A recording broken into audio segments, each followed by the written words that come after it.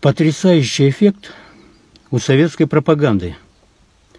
Государства советского давно уже нет, а люди продолжают рассуждать советскими стереотипами. Самый распространенный стереотип – это проклятый Запад, конечно.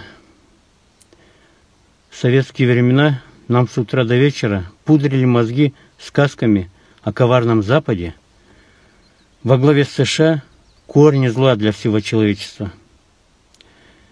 Чтобы держать нас в постоянном напряжении. И им это удавалось. Наши родители готовы были мириться с любыми невзгодами и как молитву повторяли часто «Господи, только б не было войны». Но вот Советский Союз распался. В 90-е кризисные годы коварный Запад в лице США оказал гуманитарную помощь России сотнями тонн продовольствия. Но русские, конечно, это давно уже забыли.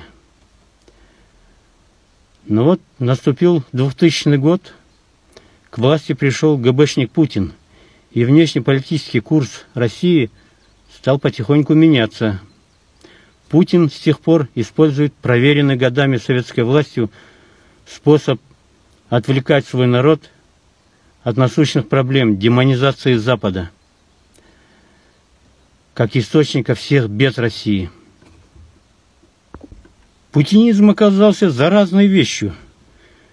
Миллионы путинистов, русских, нерусских, во всем мире, охотно верят в эти путинские сказки о проклятом Западе – и верят охотно в это расисты, которые живут именно в этих западных странах.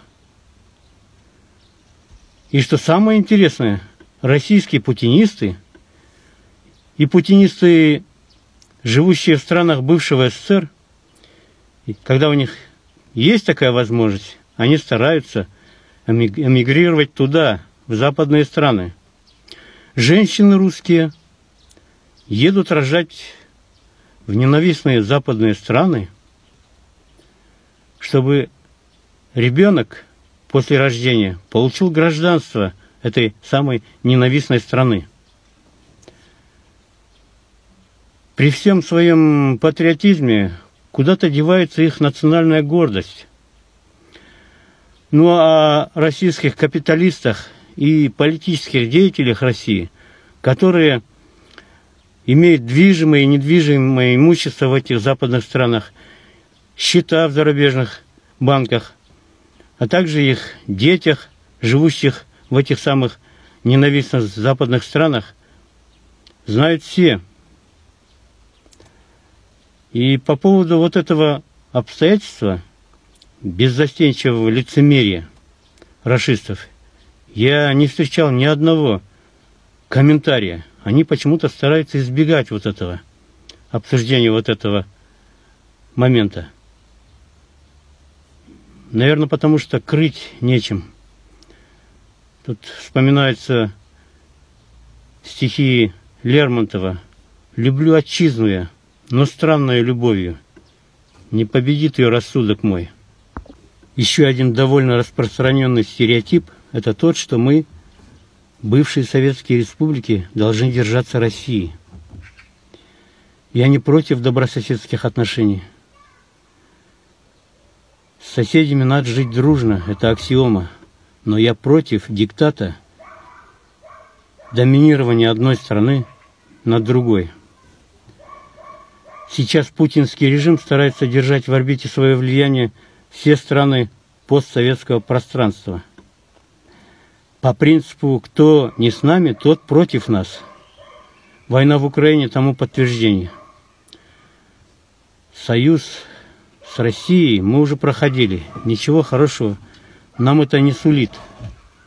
Наши пророссийские блогеры, которые любят рассуждать о геополитике и э, коварстве англосаксов, говорят, мы будем под ядерным зонтиком России – а зачем нам ядерный зонтик России? Мы ни с кем не собираемся воевать. И потом у России уже был шанс в 20 веке под названием СССР, который потерпел фиаско. Советский Союз за свои 70 лет так и не стал развитым самодостаточным государством. А Россия и сегодня не входит в число развитых стран. Спрашивается, так зачем так пыжиться-то? Если с ней считаются, это не говорит о том, что у нее есть международный авторитет. Вся проблема в том, что Россия обладает огромным ядерным потенциалом, который представляет определенную угрозу для мира. Если образно выражаться, Россия мне представляется э, маргинального вида мужиком, без штанов, но с огромной дубиной, которую он постоянно размахивает и угрожает всем. Самое скверное, то, что мы, я конкретно сейчас говорю о Казахстане, находимся в зависимости от России. Хоть мы и твердим, что мы независимое государство, суверенное, но сам, на самом деле фактически мы находимся в зависимости. В этом вся проблема. Друзья, YouTube отключил нам монетизацию, посчитав наш контент неугодным, поэтому дальше будем двигаться исключительно с помощью вашей поддержки. Как вы можете нас поддержать? Первый способ. Почти все мы делаем покупки на международных маркетплейсах, такие как AliExpress, Amazon и прочее. Каждый раз, когда решаете совершить покупки в этих интернет-магазинах, вспомните нас и переходите туда именно по нашим ссылкам. Вы совершаете свои привычные покупки и ничего не теряете, ну а мы получаем небольшую комиссию от продаж. Второй способ. Если вы намерены покупать и продавать криптовалюту, то вам нужна популярная и надежная биржа. Мы рекомендуем биржи, которым пользуемся сами.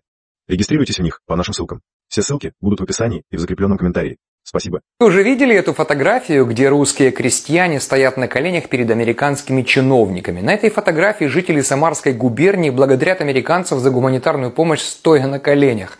Вы удивитесь, но величие их на этом не заканчивается. Спросите у русского, сколько раз за последние 120 лет коварный Запад спасал их от голода.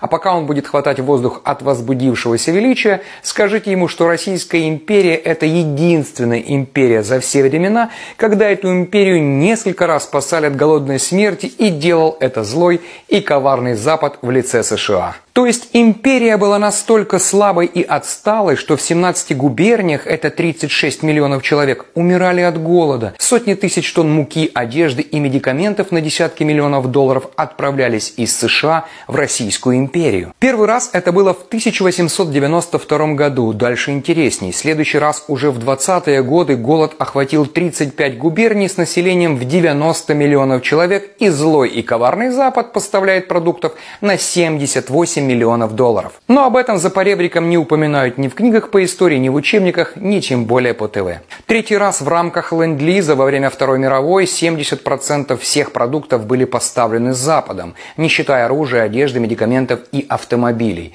Без этой помощи советские солдаты просто умерли бы от голода по пути на фронт. Четвертый раз, не последний, коварный Запад спасал Россию от голода в 90-е, поставляя продукции более чем на 100 миллионов долларов. Возможно, вы слышали про ножки Буша. Эти куриные ножки из Америки были для тех, кто вскоре начнет писать на ржавых «Жигулях», что могут повторить. А я верю, они могут это повторить. Примерно через 15-20 лет они снова попросят помощи у коварного и злого Запада.